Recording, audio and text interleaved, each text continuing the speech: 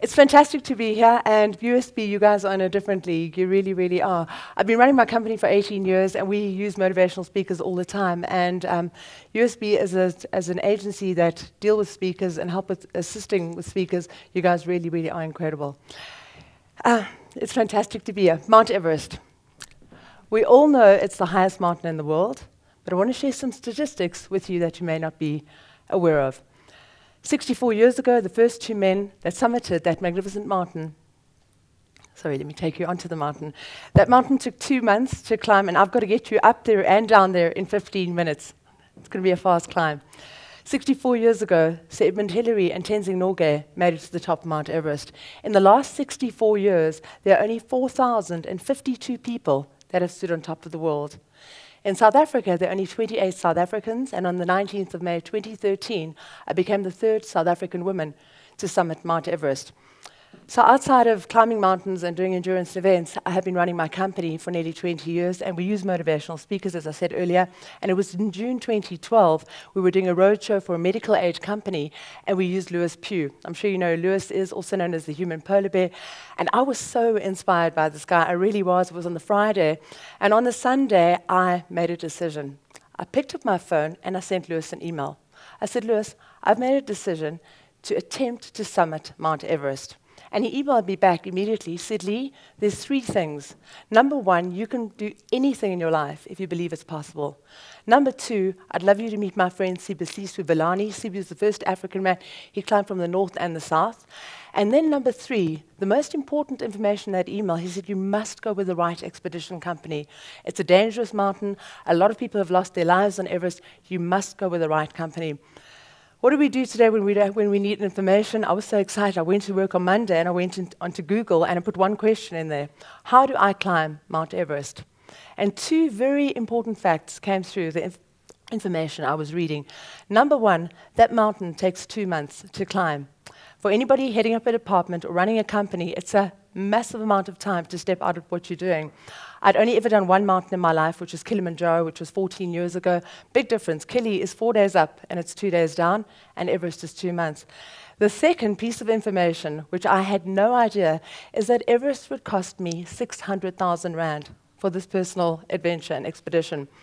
And I kept on thinking to myself, if I'm going to spend this kind of money to be able to sit at a dinner table with my friends one day saying, you know what, guys, I made it to the top of the world, would be pretty much selfish and ego driven. And I remember having coffee with a friend of mine, Kate, one day. I said, You know what, Kate, I'm heading to the highest point in the world. Who in South Africa would need raising money, raising awareness? And she said, You know, Lee, there's an amazing group of children living out of the Hartbeespoort Dam. For anybody who doesn't know where that is, if you had to drive literally 50 minutes from here, that's where it is. It's an informal settlement. And I will never forget, ladies and gentlemen, the first time I started meeting these children. I met a little boy who was nine years old, and he was taking care of his five year old sister. And I said to one of the social workers, Sylvia, I said, But Sylvia, who's taking care of these kids? And she said, Lee, whoever will be kind to them. So I made this decision. I was going to attempt to summit Mount Everest and raise money and, and raise awareness for these children at the Hartbeespoort Dam. And I did exactly that. Carte Blanche caught wind of my story, and there was a lot of publicity, and we raised a lot of money and went to the mountain.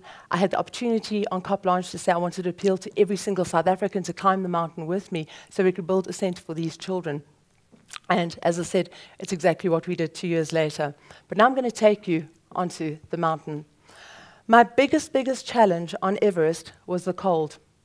The very first night at base camp, it was minus 21 degrees. I'm sure you'll agree, as South Africans, we don't really know cold and snow. Even our winter days go up to 25, 26 degrees. When I showed my twin sister Kim this picture for the first time, she said, Lee, wasn't it a shock for you the first time you got into a bath? I said, Kim, it was a bigger shock when I saw my legs that hadn't shaven for two months. That was a shock for me. I have to share, I've been doing this talk for the last three years, and I would find when I spoke to men and women in the audience, I find that women would come to me afterwards saying, Lee, tell us about the ablution facilities. So I'm going to tell you right now about the ablution facilities. There weren't any. I was the only woman in a group of 18 men for the two months, and it was so much easier for the guys, trust me. There were no bathrooms and no showers, definitely not on Mount Everest. When I filled out my my forms, I found an expedition company called Peak Freaks, a Canadian company, because in 2013 there was no um, South African expedition company take on, taking on Everest. there was one last question on this questionnaire. It said, Do you require a personal Sherpa? Now, for anybody who doesn't know, the Sherpas are from Nepal. So what they do is they assist the climbers to get to the top of the world. It's very lucrative for them. It was an additional 5,000 US dollars, which so it wasn't a light decision. But I thought to myself, I'm a novice climber. It's a no-brainer. He'll push me, he'll pull me, he'll lead me, he'll guide me. He's going to help me get, get me to the top of, the, of Everest. Sorry, Justin, can I have a glass of water? I can have a sip quickly. Thanks.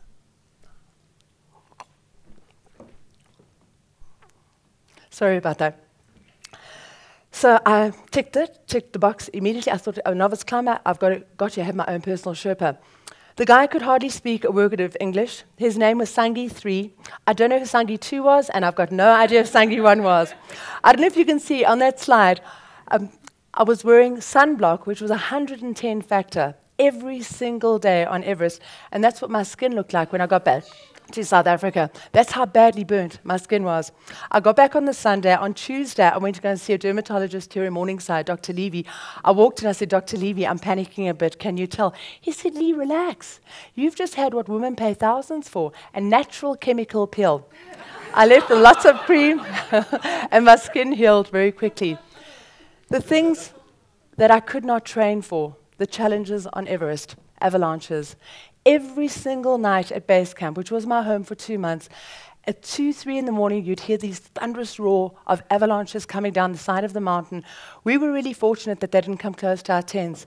The year after I was on that mountain in 2014, not one person summited Everest. They closed the mountain because 17 people lost their lives in one avalanche. The following year, not one person summited Everest. 16 people lost their lives in an avalanche. The Khumbu Icefall is something known as the most dangerous part of the climb. Okay, it extends directly from base camp. And in my main, my keynote presentation, there's way more information and far more slides, and you see great, great visuals of this magnificent mountain. The reason why it's the most dangerous part of the climb is because they're massive crevices, crevices that run up to 100 meters in depth. When I was on that mountain for eight weeks, nine people died. Nine people lost their lives. One of them fell off that ladder down the crevice, and his body still lies at the bottom of that crevice. Those ladders may look pretty easy, but I have to share with you the specialized gear that you're wearing. The boots on my feet weighed four kilograms. The pack on your back is over 10 kilograms. We crossed those ladders up to 65, 65 times.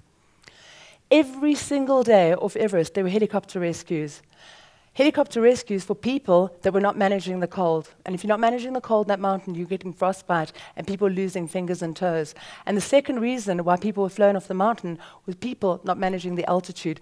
The higher you go, the less oxygen. Above Camp 3, which is 7.1 kilometers, there's 30% oxygen. I want you to do simple exercise. I want you to breathe in and breathe out.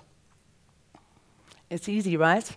In this room, it's about 95% oxygen. So you can imagine when you're at Camp 3 and there's only 30% oxygen, it's very, very difficult to breathe. You also have to hope if something happens to you medically that goes wrong, that it doesn't happen higher than Camp 2. A helicopter can't go higher than Camp 2. Camp 2 is at 6.4 kilometers. You've still got to go another three kilometers to get to the top of the world. That's a visual of a dead body being taken off the mountain. The clothing that I'm wearing is made by a company down in Cape Town called First Ascent that protects your body for temperatures as low as minus 40 degrees. The coldest it got for me on that mountain was the night we summited. It was minus 34 degrees.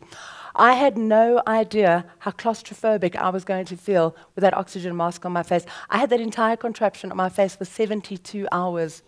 One of the fundamental lessons that we learned from an incredible leader called Marty Schmidt, who was a New Zealander, is every three to four hours he'd say, take that mask off your face and hit it onto your boot. It was so freezing cold that that, that pipe, that red pipe going to my oxygen bo bottle, kept on freezing up.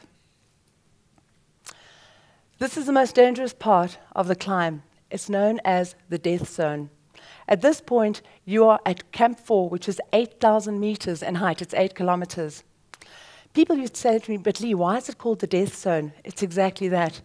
If you cut yourself at this height, your body will no longer heal. The human body can no longer acclimatize. Your organs are starting to shut down because there's no oxygen.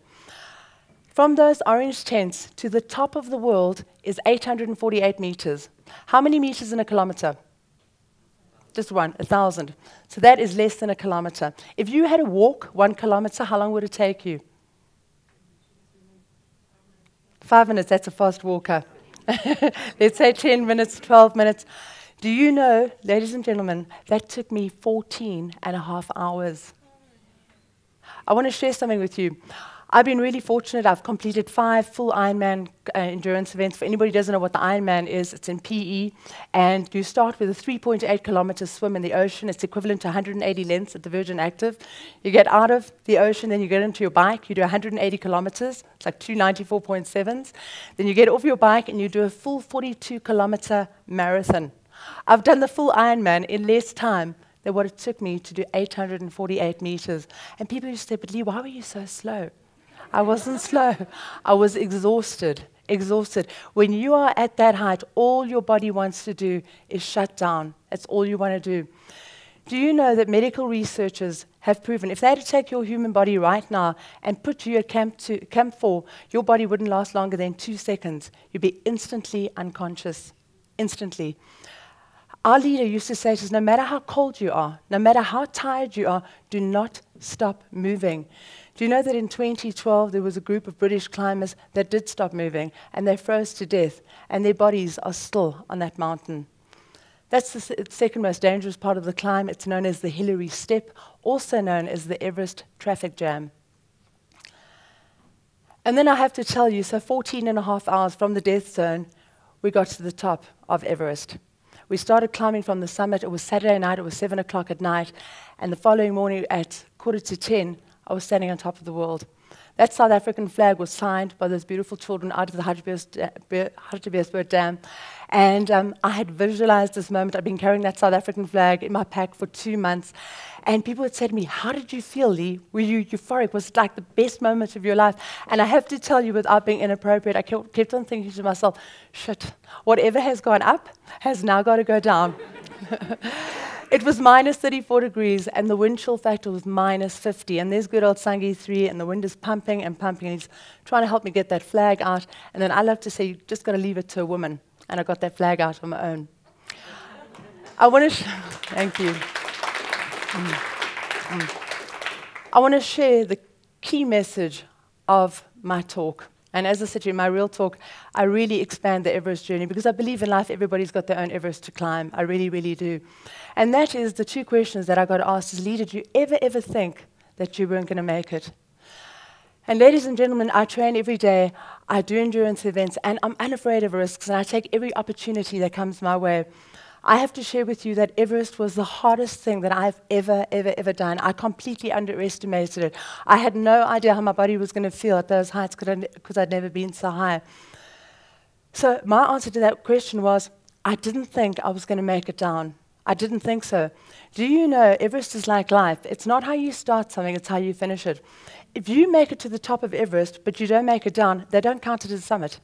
Okay because more people lose their lives on their way down. And I didn't think I was going to get down. I didn't think I was going to get back to the death zone. It had taken me 14 and a half hours to do 848 meters. It took me another nine and a half to do 848 meters coming down. And then the most important question that I was asked is when you thought you weren't going to make it, what was that thing that did make you make it? And ladies and gentlemen, I really believe in life when your purpose is bigger than your challenge, there's absolutely no finish line that you cannot cross. Thank you very much.